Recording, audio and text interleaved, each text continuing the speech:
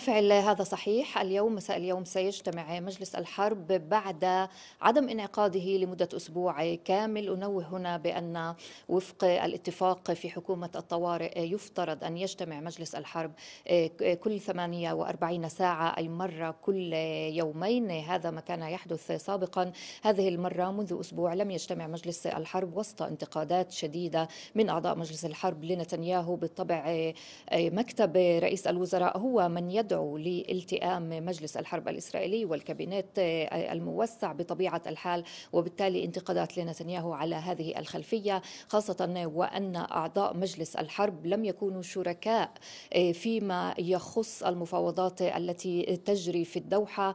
البيان الذي صدر بشأن وصول هذه المفاوضات إلى طريق مسدودة هو صدر عن مكتب رئيس الوزراء بنيامين نتنياهو. أعضاء مجلس الحرب لم يتلقوا تحديثات. هنالك انتقادات شديدة من قبل جانتس وآيزنكوت لنتنياهو بهذا الشأن لأنه لا يشركهما على أي حال الخلافات ما بين هذين الطرفين ما بين ممثلي المعسكر الرسمي في مجلس الحرب وما بين نتنياهو تتعاظم وتتكاثر كلما مر الوقت. والكثير من المحللين السياسيين يرون بأن خروج جانتس وآيزنكوت من هذه الحكومة هو يعني مسألة وقت فقط.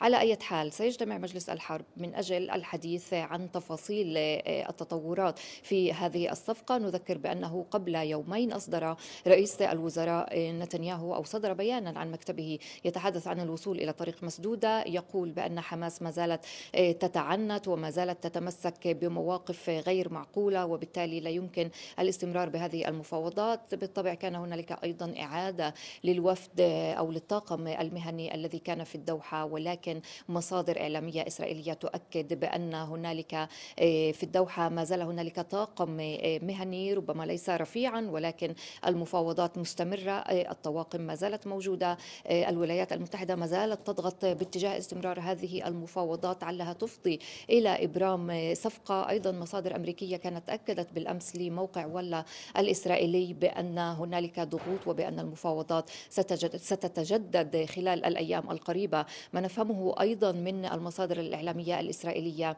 بأن الفجوات ليست كبيرة كما تصورها إسرائيل وبأن القضية الأساسية موضع الخلاف هي عودة النازحين إلى شمال قطاع غزة.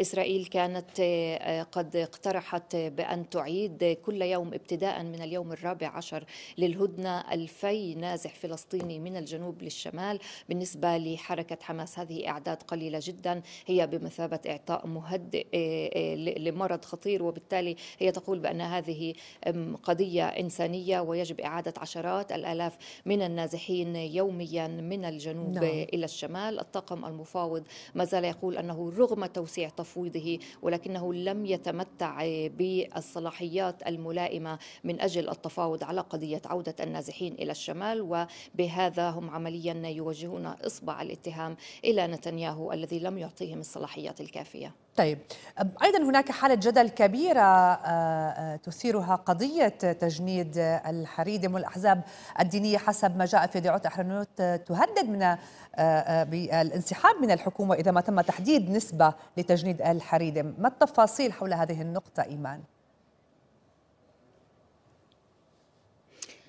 نعم هذا موضوع خلافي يعني منذ سنوات ولكن الأزمة الآن هي بسبب الدعوة المتواجدة لدى المحكمة العليا الإسرائيلية. يفترض كان هنالك قانون يعفي الحريديم من التجند لجيش الاحتلال الإسرائيلي. هذا القانون توقف عن السريان أو انتهى موعد سريانه وبالتالي يجب على الحكومة الإسرائيلية سن قانون آخر يؤطر أو يقونن قضية إعفاء الحريديم من من التجند في جيش الاحتلال. بالطبع محكمة المحكمة العليا الإسرائيلية تستند إلى مبدأ المساواة في هذه الدعوة المقدمة ضد الحكومة الإسرائيلية وتقول بأنه حسب مبدأ المساواة يجب تجنيد الحريديم أسوة بكل المواطنين الإسرائيليين يعني في جيش الاحتلال.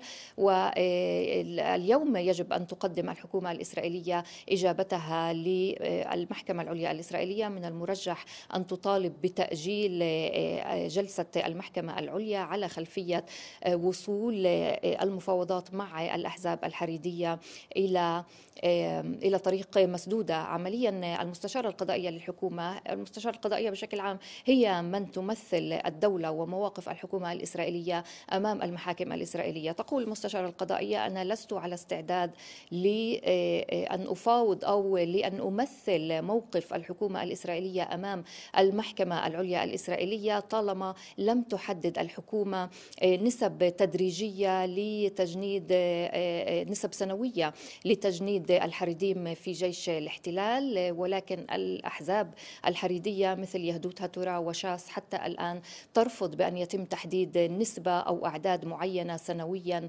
لتجنيد أعداد معينة من نعم، الحريديم نعم. في الجيش الإسرائيلي وبالتالي وصلوا إلى طريق مسدودة. يهدوت هاتورا كانت قد هددت بالخروج من هذه الحكومة وهذا ليس سيناريو غير معقول لأن بالفعل في السابق كانت حكومات قد سقطت بسبب هذه القوانين.